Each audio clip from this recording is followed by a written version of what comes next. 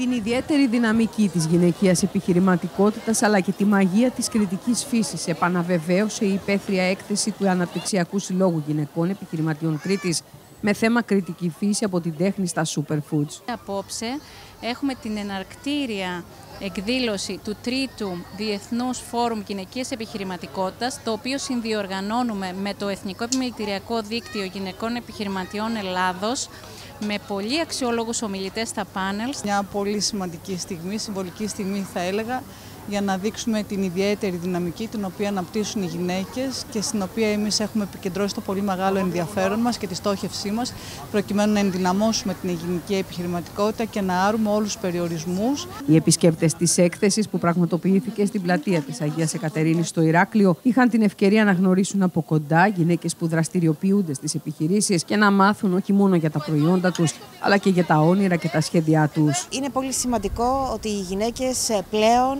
βρίσκονται πολύ δυναμικά στο επιχειρήν. Άλλωστε, υπάρχουν πάρα πολλές μελέτες που λένε ότι όσες επιχειρήσεις έχουν γυναίκες σε θέσεις ευθύνης, αλλά ταυτόχρονα και γυναίκες ευρύτερα, είναι επιχειρήσεις με πολύ περισσότερη κερδοφορία. Είδαμε πολλά περίπτερα, πάρα πολύ όμορφα, το καθένα με την ιδιαιτερότητά του και τη μοναδικότητά του. Και εμείς εδώ, ως Υπουργείο Εξωτερικών και ως Enterprise Greece, θέλουμε να μιλήσουμε με κάθε μία από τις γυναίκες κάνουν όλα αυτά τα υπέροχα πράγματα και να δούμε πώς μπορούμε να τις βοηθήσουμε, να τις ενισχύσουμε και να φτάσουν τα έργα τους και τα προϊόντα τους στο εξωτερικό.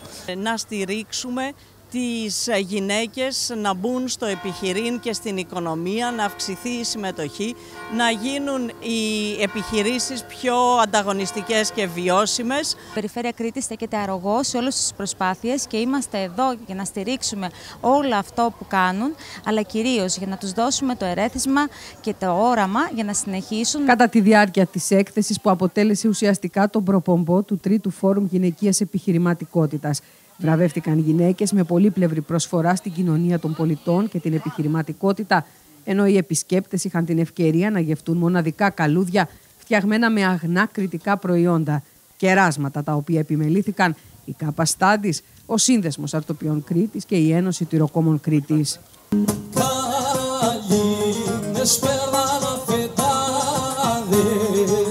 Η βραδιά έκλεισε με μουσική και χορό με την κριτική λύρα να δίνει τον τόνο.